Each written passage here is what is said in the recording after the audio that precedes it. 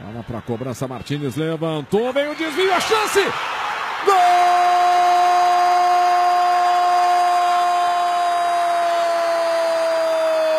do Equador! Eraso, camisa número 3!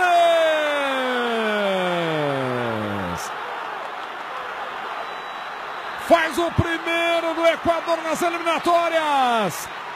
E abre o placar sobre a Argentina no Monumental de Nunes em Buenos Aires.